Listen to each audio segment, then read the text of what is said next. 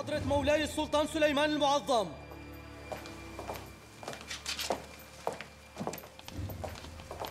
مولاي السلطان. اجوا البشوات ياس باشا اجوا يا مولاي. عم يستنوا حضرتك تستقبلهم. لازم اشوفهم فورا بس مو هون. خليهم يجوا على باحة القصر وأنا راح أجمع الديوان. حاضر مولاي. رئيس الكتاب حيدر شلبي وصل على القصر ولا لسه؟ وصل مولاي.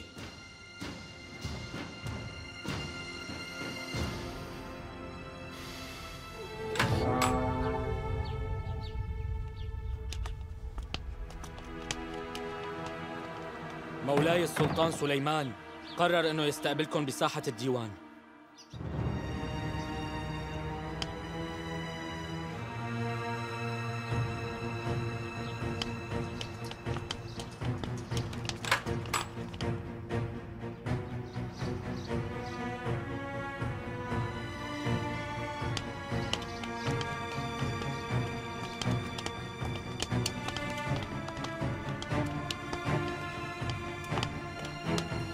حضرة مولاي السلطان سليمان المعظم.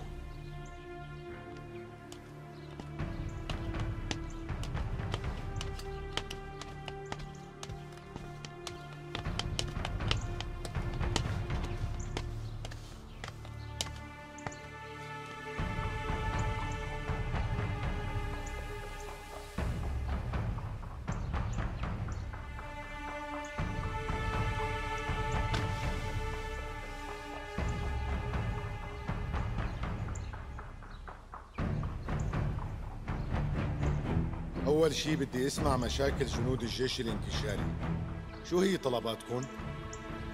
مولاي السلطان انتو بتعرفوا الجيش منيح وبتعرفوا بطولاته. الجنود حاسين بالغبن والظلم. حاولنا نوصل صوتنا لفخامتكم من خلال الوزير الأول بس يبدو صوتنا ما وصل لكم أبدا. الوزير الأول حضرة إبراهيم باشا ما اهتم للجنود ومطالبهم. وما تنازل يجتمع معنا مرة واحدة. الجنود مزعوجين. بدهم حملة وبدهم مصاري. وطالبين من فخامتكم طلب تاني. عزل الوزير الأول إبراهيم باشا. وهي هي مطالب الجيش الانكشاري.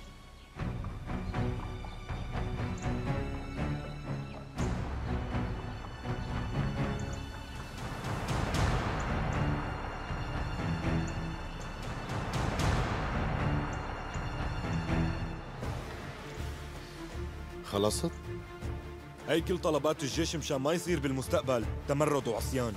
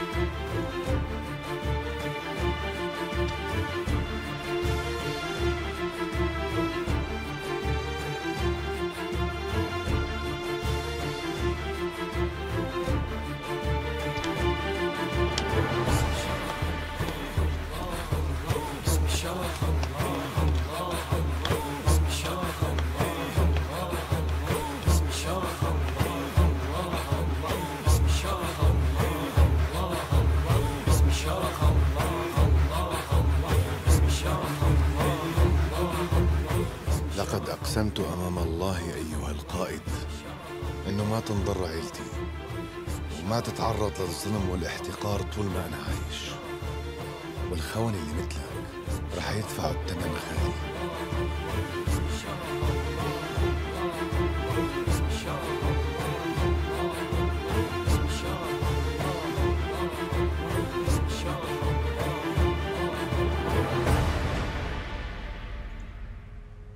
انت كيف تجرأت تساوي هيك ببلدك وناسك؟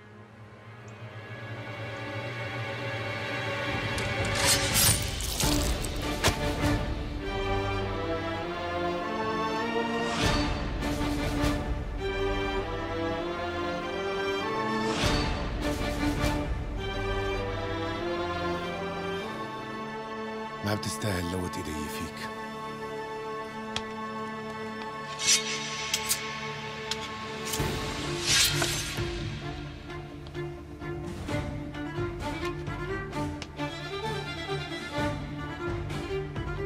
رئيس الكتاب حيدر شلبي قالوا لي إنك من الخونة صحيح هذا الحكي؟ حاشا يا مولاي. مولاي أنا بريء. كله كذب وافتراء. أنا يا مولاي كنت على اتصال مستمر مع الجيش لحتى أهديه. مولاي كله افتراء. مولاي السلطان مشان الله سامحني. والله أنا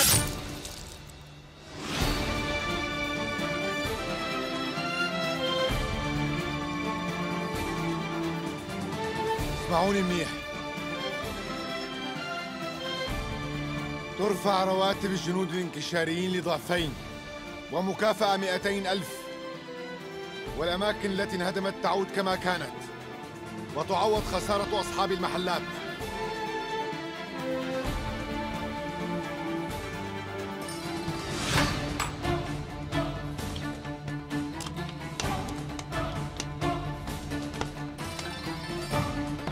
الحاضر يعلم الغايب.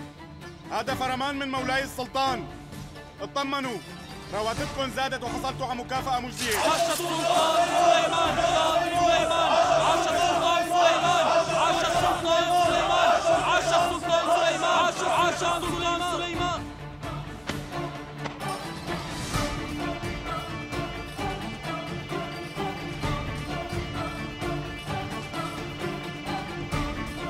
مولاي السلطان قطع له راسه للي خانوا وخان سلالة آل عثمان وهدول الأغوات إن خانوا أشرف شخص موجود بالجيش.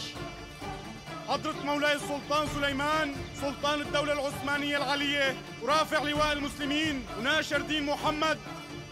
عفى فخامة مولاي السلطان عن بقية الجنود المغفلين والمتورطين.